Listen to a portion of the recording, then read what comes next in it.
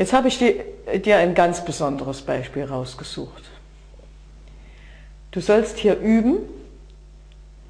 Erstmal ist klar, aus Differenzen und Summen darfst du nicht einfach kürzen, sondern über die Regel, dass du etwas ausklammern kannst. Da es aber auch überall auszuklammern sein muss, gehen wir jetzt schrittweise vor. 4, 12, 6. Da bleibt uns leider nichts anderes übrig, da ist nur die 2 auszuklammern. p Quadrat, aber hier kommt es ohne Quadrat vor. Also p, q, r. Das heißt also, mehr haben wir hier oben nicht gemeinsam. Jetzt schreiben wir in die Klammer 2pqr minus 6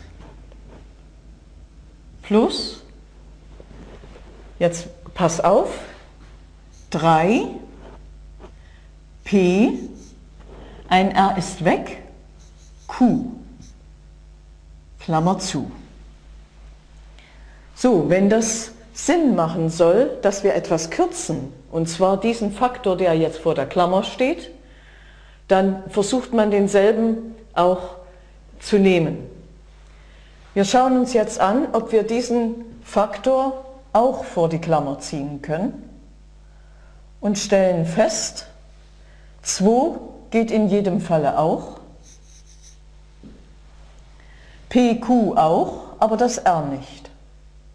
Das heißt also, wir können zwar 2pq ausklammern, aber das r ist nicht in jedem Summand enthalten. 9 r bleibt in der Klammer. Minus 12 q.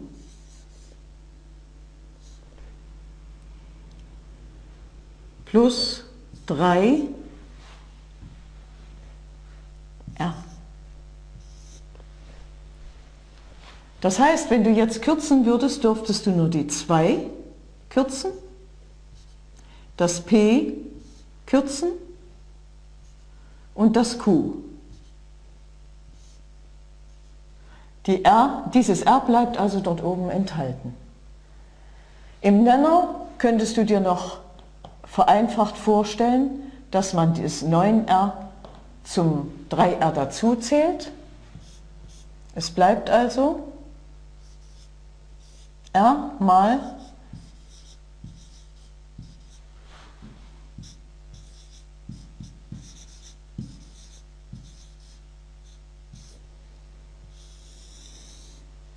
durch 12r minus 12q. Wenn du es dir jetzt anschaust,